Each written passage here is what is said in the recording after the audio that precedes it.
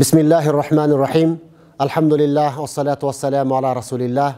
жараткан аллага чексиз мактоолор сүйүктүү пайгамбарыбыз мухаммаду мустафа саллаллаху алейхи вассаламга салаваттар жана саламдар болсун ассаламу алейкум теле көрүүчүлөр бүгүнкү ислам бүгүн аттуу теле берүүсүндө сиздер менен амандашып отурганыбызга аллага чексиз шүгүрлөр болсун жана бүгүнкү берүүбүздө биз сиздерге кыяматтын белгилери жөнүндө азын улак сөз кылып бермекчибиз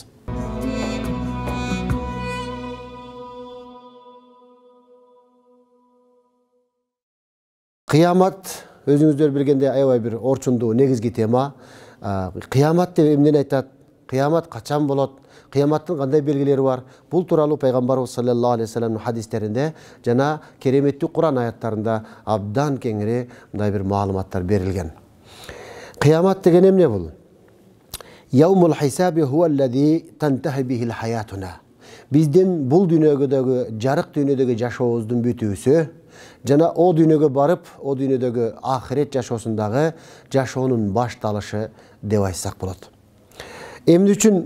кыямат себеби кыямат деген сөздүн мааниси араб тилинен бизге көчүп кыямын туруу дегенди билдирет эмнеден туруу баардык каза болуп өлгөн адамдар өлгөн жерлерин тирилип аллах тааланын астына кылган иштери тууралуу эсеп кысап беришлик үчүн топтолгон мезгил болгондуктан ошол күн болгондуктан ошол күндүн аты кыямат деп аталды.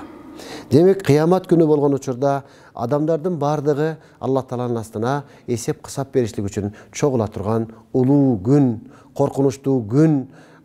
эсеп китап бере турган күн деп айтсак болот. Кыямат күнү качан болору бул дайынсыз? Муну аллахтан башка эч ким билбейт бирок курани каримдин көптөгөн аяттарында жана пайгамбарыбыз саллаллаху алейхи вассаламдын хадистеринде кыяматтын жакын болгондугу тууралуу кыяматтын болоору тууралуу ишара түрүндө кабарлар берилип кеткен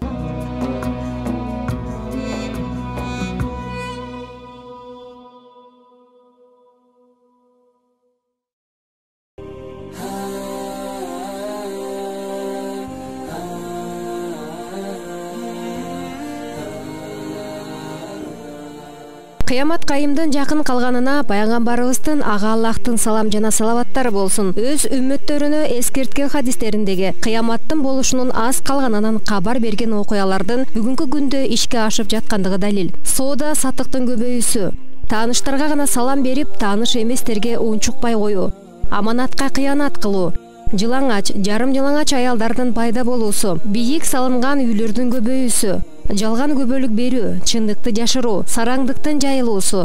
тууган уруктан мамиленин үзүлүүсү жаман коңшулардын көбөйүүсү ар түрдүү ат менен шараптар чыгат халал болуп эсептелет. Адал арамга маани берилбейт. Кудайдан башканын ыраазычылыгы үчүн илим алуу үй бүлөдө аялга баш ийип калуу энеге кайрымсыз болуу уул аялынын сөзүн угуп энеге каршы чыгылат. Мечиттерде кыйкырып сүйлөө пенденин жамандыгы тийбесин деп урматтоо жибекти эркектердин адал деп кийип калуусу арактын кадимкидей ичилип калуусу музыканын баардык түрүнүн жайылуусу ит багуу бала багуудан дагы тартымдуу болот. Убакыттын берекесинин кетүүсү базарлардын жакын болуп калуусу жалган айтуу жер титирөөлөрдүн көбөйүүсү аялдардын көбөйүүсү эркектердин азаюусу куран окулгандыгына ижара акы алуу семиздердин көбөйүүсү алдуусу алсыздарды кордогондордун көп болуусу зына кылуучулардын көбөйүүсү. Мына ушул белгилер кыямат кайымдын кичине белгилери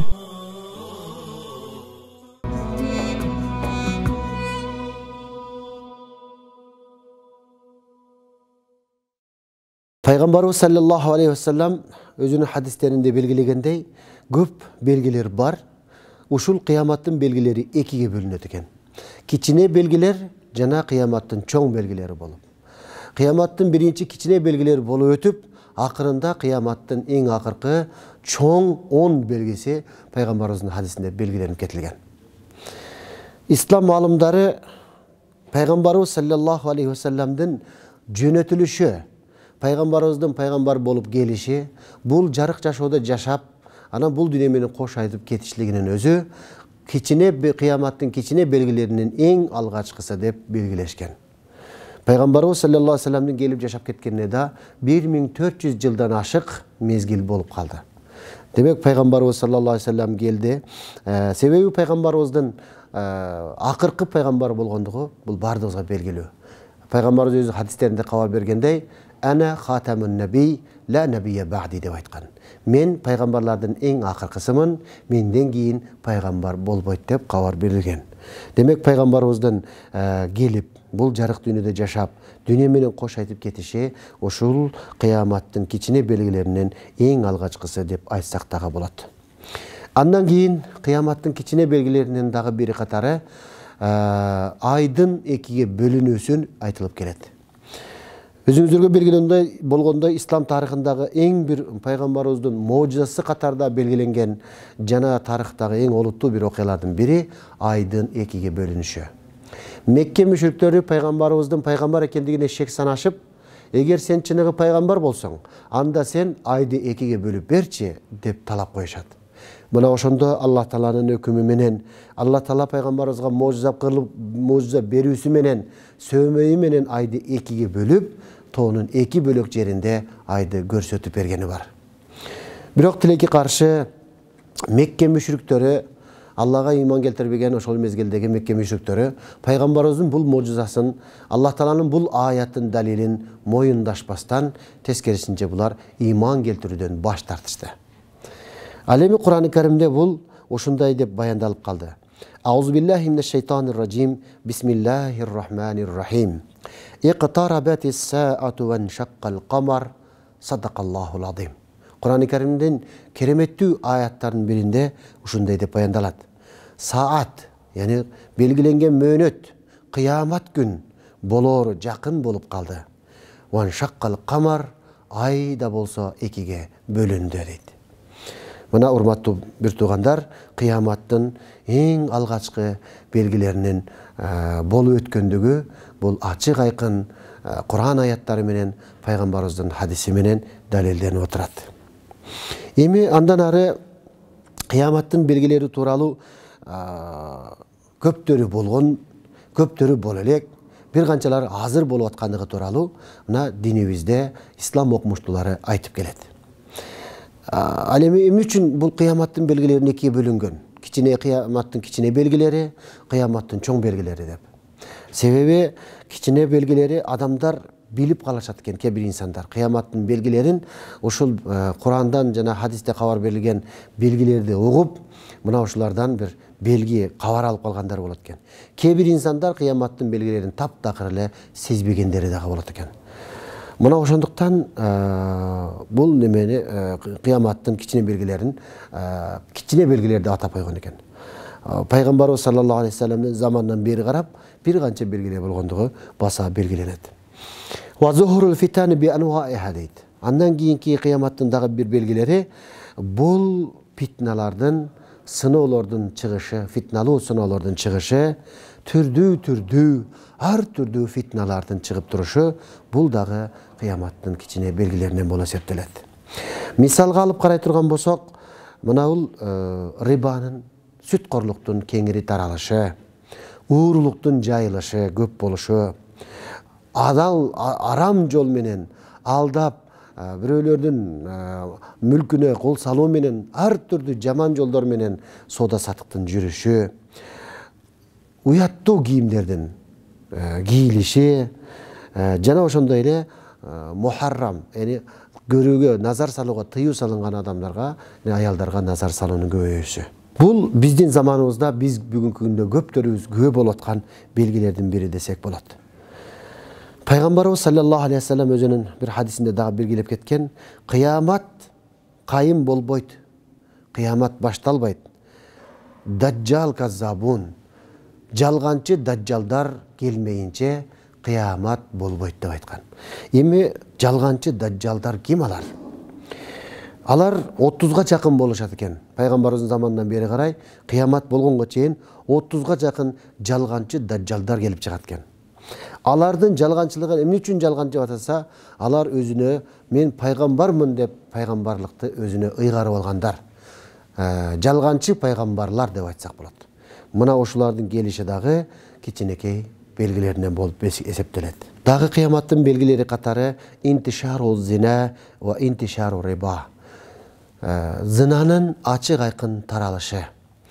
Жана ошондой эле сүт корлуктун дагы кеңири жайылышы кыяматтын кичүү белгилеринен де белгиленет расулулла саллаллаху алейхи вассаламдын хадисинде кабар берилет яти наси заманун адамдардын башына ушундай бир күн келип калат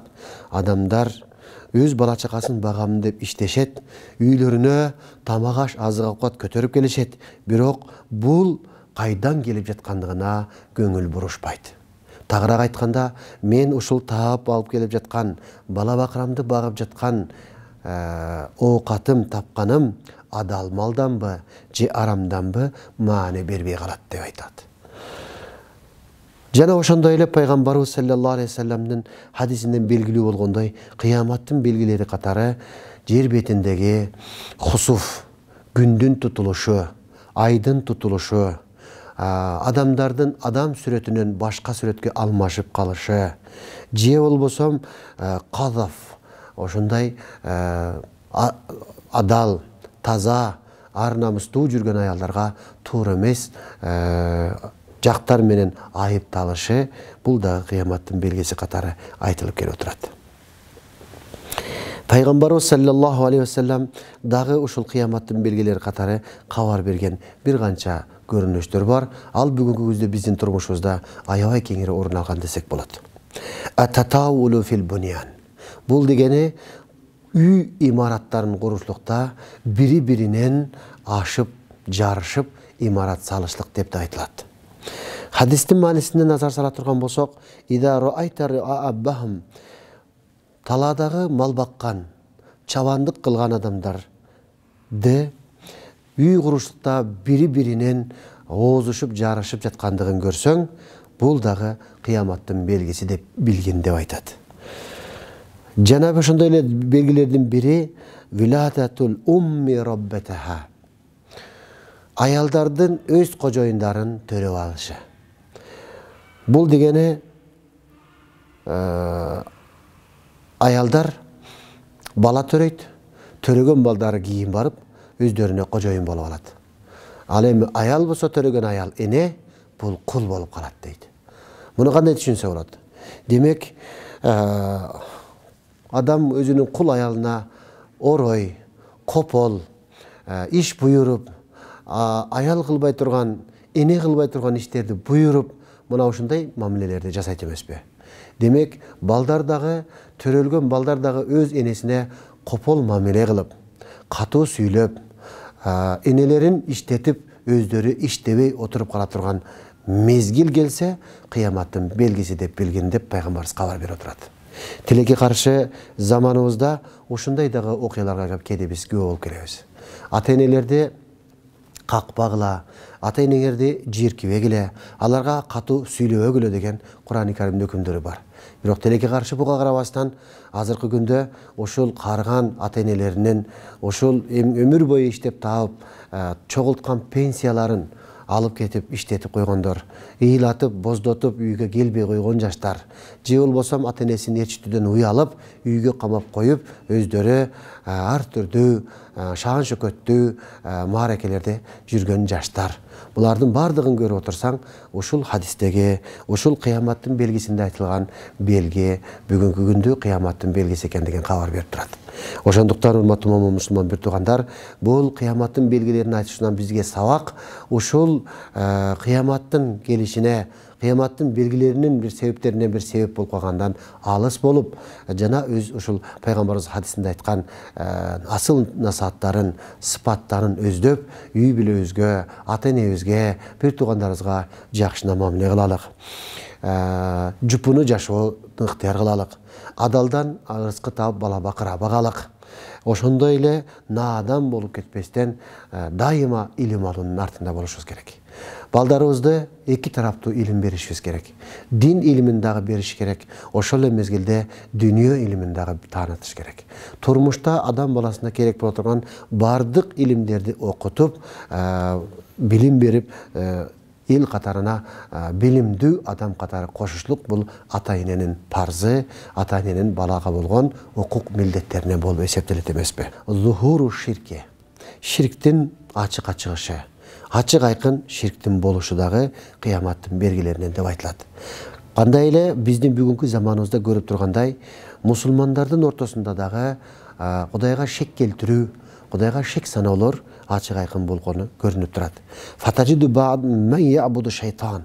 биз арабыздан карап турсак кимдир бирөөлөр кудайга эмес шайтанга сыйынып аткандар дагы бар кимдир бирөөлөр буттарга сыйынып аткандары бар бирок ал өздөрүнүн мен бутка сыйынган жокмун мен шайтанга сыйынган жокмун өзүмдү кудайга сыйынып атам деп эсептешет бирок чындыгында алар ошондой бутка шайтанга сыйынып аткан болушат ал эми бутка сыйынышлык бут чокунушлук ушундай иштерди кылыштык бул ширк амалына кирет эмеспи.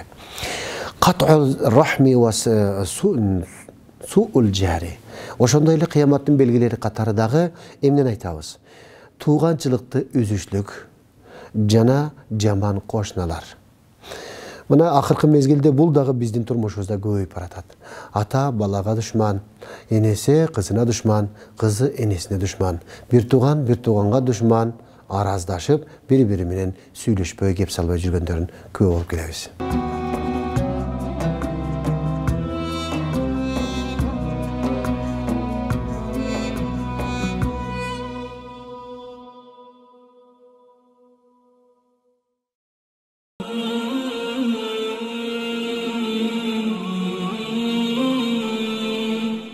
Кыямат кайымдын жакын калганынын чоң белгилери даджалдын келиши иса пайгамбардын жерге түшүшү имам махдинин пайда болушу яжуж жана мажуж аттуу элдердин мусулмандарга кол салышы алгач чыгышта кийин батышта жердин оюлуп түшүшү андан кийин аравия жарым аралында абдан чоң дарыянын пайда болушу дүйнөнү түтүндүн каптап кетиши күндүн батыштан чыгышы жана жалпы өрттүн чыгуусу кыямат болууга жакын калганда алгач кичине белгилери кийин чоң белгилери чыгат. Кыяматтын качан боло тургандыгын аны бир гана аллах билет. Ал эми сиз кыямат күнү аллах пенделердин арасында уят кылбоосун каалайсызбы? Анда өзүңүздү зынадан сактаңыз. Кыямат күнү аллахтын каарынан коопсуз болгуңуз келеби анда аллахтын жараткан нерселеринин бирөөнү да ачууңузду келтирбеңиз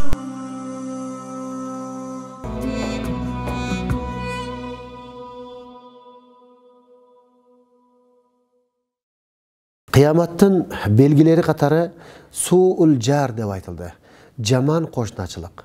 пайгамбарыбыз саллаллаху алейхи вассалам кошуна тууралуу ушунчалык көп насаат айтты хазирети жабраил пайгамбарыбызга келип анан пайгамбарыбыз айтып калды ушул кошунаны барып барып адамга мураскер болуп калат окшойт деп ойлодум дейт демек мурасты эң жакынкы адамдар алат эмеспи демек кошуналар дагы адамга жакын адамдай болуп эсептелет ал эми биздин коада салтыбызда алыскы туугандан жакынкы кошуна деп айтат бул дегендик демек кошунага жакшына мамиле кылыш керек. Алыскы тууган сенин жакшылыгың жамандыгыңдын көбүнө күбө болбой калышы мүмкүн бирок биздин эң көп жакшылыктарыбызга күнүмдүк жашообузга кыйынчылыктарыбызга биздин кошуналар күбө болуп дайым жардамдашып келет эмеспи. Ошондуктан кошунага жакшына мамиле болуш керек. Эгер кошуна кошунага жаман мамиле кылып аткан болсо бул дагы кыяматтын белгилеринен билишибиз керек экен. Дагы кыяматтын белгилери катары асвади. Чачтардын кара түскө боyoосу кыяматтын белгиси деп кабар берди. Пайгамбарыбыздын хадисинде келет якуну фи ахири замани кыямат жакын болуп калган мезгилде адамдар чачтарын кара түскө боей башташат. Кандай эле көгүчкөндөрдүн көк моюн кара моюн көгүчкөндөрдүн мойнуна окшоп чачтарын карага боей башташат. Алар бейиштин жытынына чейин жытташпайт деп хадисте келип отурат бул дагы карап отурсак заманыбызда аялдардын жасанганы бул эми кудай берген бир табигый нерсе болсо керек. Бирок эркектердин дагы өзүнчө жасанып чачтарын боеп калышлыгы кыяматтын белгиси сулуулук салондору ачылып ал жерде сулууланган аялдар болбостон кээде эркектердин отурганына дагы күбө болуп келебиз. Залазил кыяматтын дагы белгилери катары жер титирөөлөрдүн көбөйүшү зехабу салихин жакшы инсандардын арабыздан көтөрүлүп кетиши мындайша айтканда өтүп кетишти расулулла саллаллаху алейhi вассаламдын хадисине назар салсак ла тaqуму саату хатта яхуда аллаху шаритаху мин ахлил ард яғни әхлул хайри ва дин қиямат қайым жақын болған мезгілде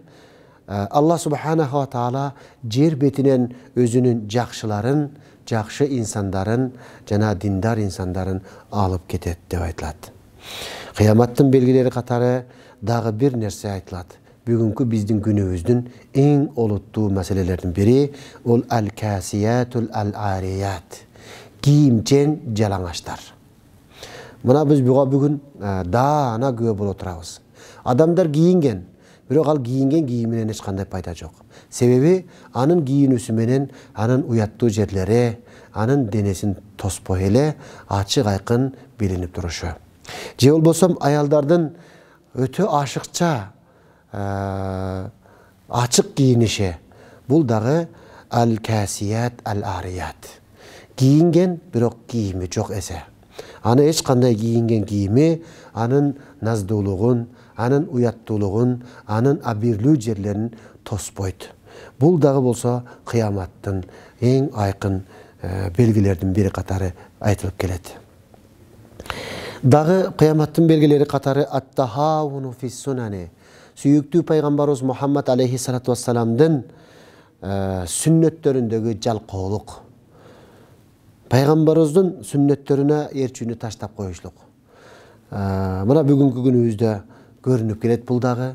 кыяматтын белгилеринин катары сүннөттөн ата өтө эле алыстап кеткен сүннөттү унутуп койгон кээ бир сүннөттөр таптакыр жашообуздан чыгып кеткен сүннөттөр дагы кездешет ошон үчүн пайгамбарыбыз хадисинде айткан кимде ким кыямат күнү жакындап менин сүннөттөрүм өлгөн мезгилде бир сүннөтүмдү тирилте турган болсо ага жүз шейіттен соо беріледі деп бекерінен айтқан емес. Ошондуктан урматтуу момун мусулман бир туугандар пайгамбарыбыздын сүннөтүн өзүбүзгө өздөйлүк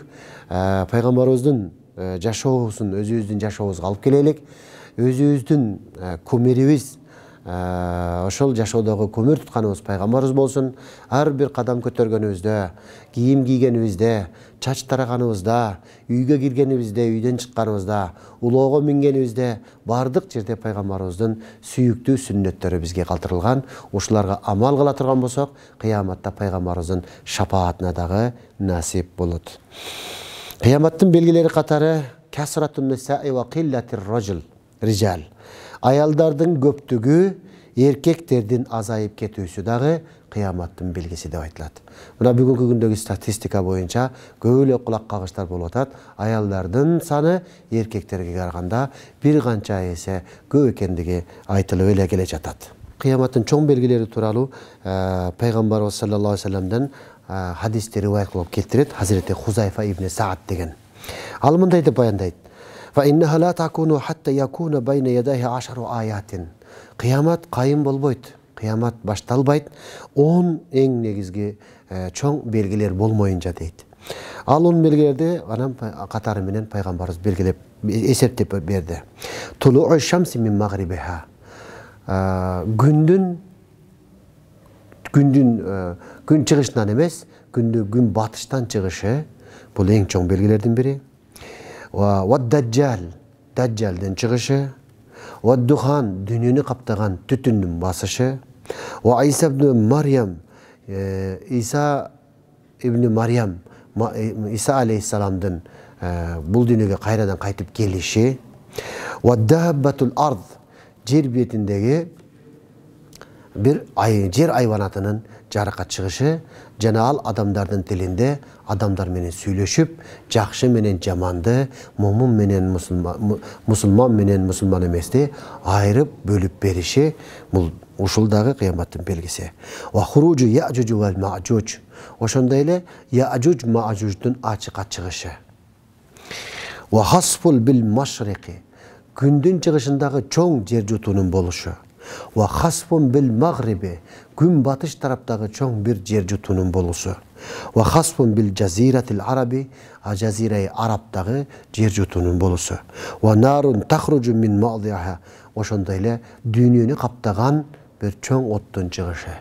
ушундай олуттуу бир он чоң белгини кыяматтын чоң белгилери деп белгилеп кетет эми бул оң чоң белгилер кимиси биринчи кимиси экинчи бул тууралуу аалымдарыбыздын дүйнөдөгү дин аалымдарынын окумуштууларынын ар түрдүү ой пикирлери айтылган. Тартиби боюнча кайсынысы биринчи келет канан экинчи келет деген боюнча бир түрдүү ой жок албетте. Бирок ошентсе дагы окумуштуулар өзүнүн ойлорун пикирлерин белгилеп кетишкен. Кимдир бирөөлөр айтат эң алгачкысы бул даджалдын чыгышы ушул кыяматтын оң чоң белгилеринин биринчиси бул даджал чыгат. Даджал ал ким? Даджал ал бир көздүү болот. Анын маңдайына кафыр деп жазып коюлган болот бирок ага берилинген мүмкүнчүлүк аябай чоң болгондуктан ал ар түрдүү азгырыктарды көрсөтүп адамдарды өзүнө арбап ала турганчалык өзүнүн жөндөмү болот ошол жөндөмүн көрүп адамдар бул кыйын экен бул туура айтып атат ушул ак экен деп ошондо ээрчип кеткендер болот бирок чыныгы момун мусулмандар аны ээрчибейт деп айтылат андан кийин ыйса алейхисалам мариямдын уулу ыйса ал асманга көтөрүлүп кеткен. Ошол иса алейхисалам жер бетине түшөт. Бул экинчиси. Сумма яхруж яжуж вал мажуж яжуж мажуж чыгат. Бул искендер зулкарнайн аллах тааланын өкүмү менен бул майда бир коом аябай көп сандагы болот. Ушуну бир тоо артына бекитип ортодо эки тоонун ортосуна чоң дарбан дарбаза куруп мисти эритип темирди эритип дарбаза курган ошол дарбазанын артында азыр бекилип турат ошолор чыкканда яжуж мажуждун чыгышы дейт бул тууралуу да курани каримде кеңири маалымат берген бул үчүнчү белгиси катары айтылат сумма хуружу даббатул ард андан кийин жер айванатынын чыгышы болот төртүнчү болуп ал адамдар менен сүйлөшөт туураны катаны туура туура менен туура эмести ажыратып берет момун менен кафырды ажыратып бере турган жаныбардын жерден чыгышы болот. Андан кийин эң акыркы күн күн батыштан чыгат. Мына ушул он белги болгонго чейин адамдар тооба кылып калган болсо тообосу кабыл деп айтылат буларды көргөндөн кийин эми тооболору кабыл болбой калат дейт урматтуу момун мусулман бир туугандар бул кыяматтын белгилерин окуп отуруп кыяматтын белгилерин карап отурсак бир канчасы болуп өткөндөй аалымдарыбыз белгилегендей бир канчасы эми болуп жатат бир канчасы дагы бир боло турган белгилери али алдыда экен эми пайгамбарыбыз саллаллаху алейхи вассалам өзү дүйнөгө жарык дүйнөгө келиши менен эле хадисинде белгилеп кеткендей мен жана ахирет моундай деп көрсөттү бул дегени мен келдим кыямат эми аз эле калды аз мезгилден кийин эле кыямат болот булардын баардыгы биздин ошол акыретке даярдыгыбызга айтылат кыяматтын келишине чейин кыяматка чейин даярданып ошол жаман инсандардан эмес жакшы инсандардын сабында болуп калганга биз аракет кылышыбыз керек. Ал эми биз жакшы инсандардын сабында болуштук үчүн дайым насаатка кулак салып жүрөлү пайгамбарыбыз саллаллаху алейхи вассаламдын айткан насаатындагы бири бириңерге көрө албастык кылбагыла бири бириңерге ич тардык кылбагыла жөн гана аллах тааланын момун мусулман пенделери болгула дегендей бири бирибизге жакшылык каалаган бири бирибизге ырайым кылган бири бирибизге камкор бири бирибизге боорукер болгон момун мусулмандар болойлук пайгамбарыбыздын ошол айткан хадистерине амал кылып бактылуу инсандан болушубузду алла тааладан сурап кетмекчимин ассаламу алейкум ва рахматуллахи ва баракатуху